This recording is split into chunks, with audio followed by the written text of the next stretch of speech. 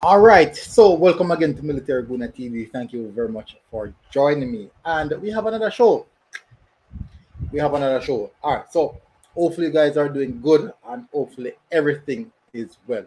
Big shout out to my members AJ, um, Devon Hughes, the original Zilla, D. Linton, Rolanda Codner, Jeremy and Swibi. Massive respect to you guys. You know, I never look on nothing coming. No, no. Massive respect to you guys. Thank you very much for this continued support. So we're going to speak about a little bit about um Antonio, just a little bit about Michail Antonio. So he spoke about he did an interview with Flow Sports and he spoke about um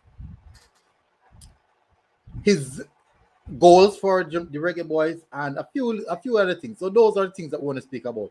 So, but before I get into that, what I want you guys to do is smash the like button and also hit the subscribe button if you're here for the first time. No, um, just remember the golden rule: HBO. Help a brother out. Help a brother out by hitting the subscribe button. Help the channel to grow. I really, really appreciate it. And hitting the like button help the, help the video to be seen. And the more people see the video, the more likely people are going to come onto the video. So, HBO people, help a brother out. Now, let me get straight into it. Um, uh, waste more than enough of your time. More than enough of your time. So let's get into it. All right. So on the interview, he was asked a few questions, and his question, the first question was asked is um about his first goal, and he said, "I felt confused. To be fair, there were no fans in the stadium, and it was silent. So I'm like, did I really score, or what? Yeah. So he expressed his, feeling in regards to when he scored the first goal and the things that was running through his mind because you know we played that game um, was it the El Salvador game? Yeah, away to El Salvador when there was no fans in the stadium, and obviously, um, there was literally no, even no El Salvador fans to help support. So, um, bring across an atmosphere. So, um, the stadium was pretty much dead, and it was like, did I really score? So he spoke about oh, what happened. He said that when he received the ball, his, his first intention was to hold up play but he, he said um, at the point in time the defender committed. So because defender committed, said let me take this on and bring it to the towards the goal. And when he when doing so, he he saw that defender should be on um should be onto his left foot, making it difficult for him. So he said, "You know what? I'm going for it," and he just dink the keeper. So that is explained that he explained everything that was when going through his mind at the particular time before the goal and then after the goal. He said like when he scored the goal and he and he ran he ran off, it was like um because there was no celebration, no nice.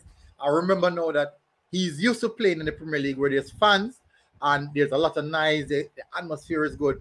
So he's used to that. So was really, really wondering if he really scored a goal. And definitely. And he was like, Oh, did I really score? um, just because there was no fans fans in the stadium. But that was his first goal. Then he, he, he was asked about um he was asked about the second goal. Um, the second goal is actually a video. I can't show that one.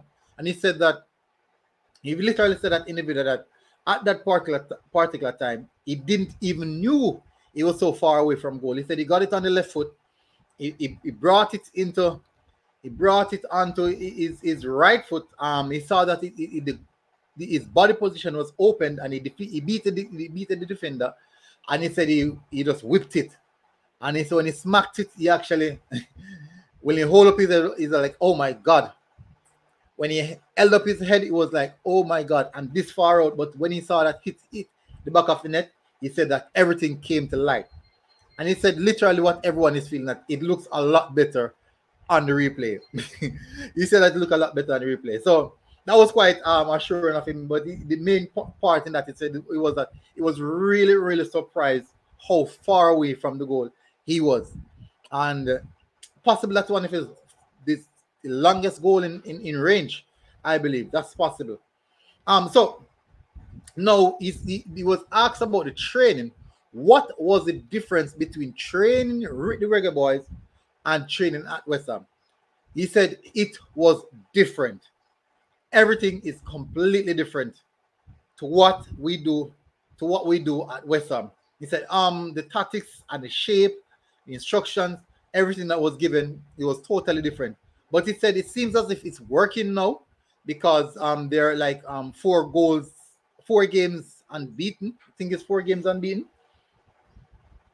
Yeah, I believe it's four games unbeaten. Um, two draws and one win. Three draws and one win. So yeah, he believes that it's working now. So hats off to him. Um, I think that covers that covers it. Yeah, I do. That covers it. So um guys, he's really excited. You guys can go and check out the interview on Sportsmax. It was a very good interview, short but spicy. A lot of information to take away from it. Um, he will be playing against Chelsea, I believe Chelsea this weekend. So show your support. show your support as I will be doing the same. Um, so guys, thank you very much um, for joining again. Um, this has been definitely another short one. Hopefully you guys are doing good. Um, Military Gooner TV people, like, share, subscribe. I am out.